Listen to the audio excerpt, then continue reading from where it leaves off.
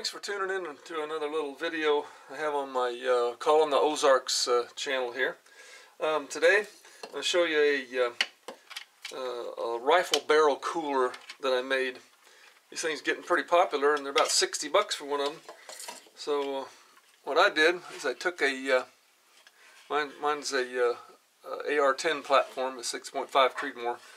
But I've seen some of them where they'll take and put a, a computer fan on the side here and I think that worked pretty good.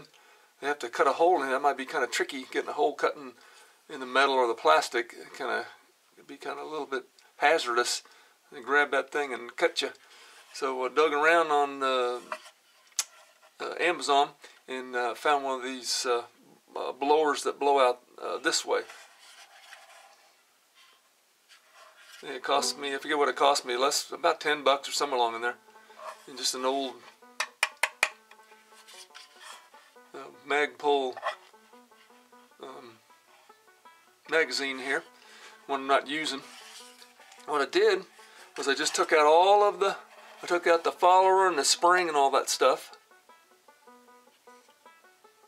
Just pulled all that out and then took off the, the bottom of it, slid it off, just discarded all that. And then as you can see, the output from this fan is uh, uh, about half the width of it. And so it took me a piece of wood that just happened to be the right size, and if you can see that down there or not, and uh, cut it off. It's about that long, you know. I stuck it down in there and put some epoxy on each side of it so it wouldn't slide back out. And then, uh, you know, to block off that uh, the air from coming out, plugged up all the little, any little holes, plugged those up with some uh, RTV or whatever you've got. And then uh, to get this attached to, to get this fan attached to this magazine, I first took and uh, put a rubber band on it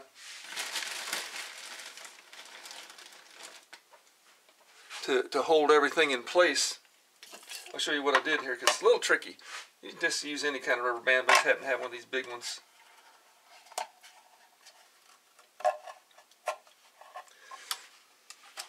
I took a, a rubber band and uh, just put it around. It don't have to be one of these big ones, just something that'll hold it. And then take and, and lean it, maybe make it a two-person job.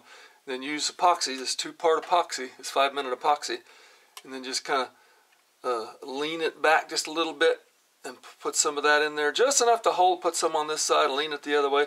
Put some in there, just enough to hold it in place, and you get it all. Look at it, get it all lined up I've used epoxy for years, decades. I love it. And then just let it set. Get it all nice and straight. Then, when you uh, come back, you take the, the uh, rubber band off of it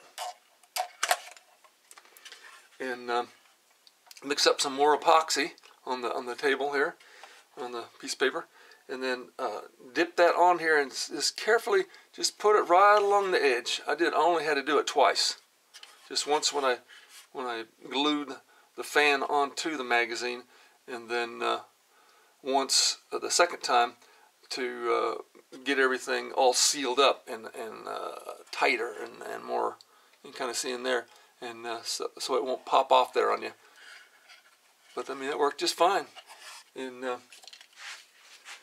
it's got me a 12, 12 volt DC power supply that I had laying around. You can find these in yard sales or you might have one because this fan is 12 volts DC and you just uh, just pop this up in the uh, lower of your uh, rifle with the bolt pulled back.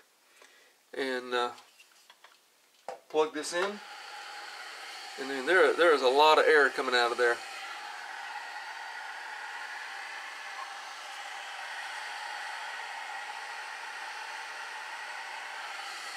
You kind of hear that blowing. I mean that, that's that's a lot of air but this bad boy is going to work.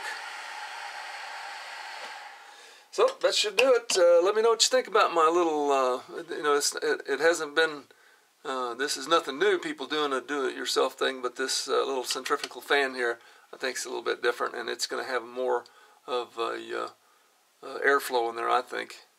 But let me know what you think, and if you like this, hit the subscribe button, and um, um, hit the notification bell so you'll uh, be notified of my hunting adventures and uh, any uh, uh, do-it-yourself or make things better projects that I have, uh, typically weapons related. But thank you very much for watching, and you have a good day.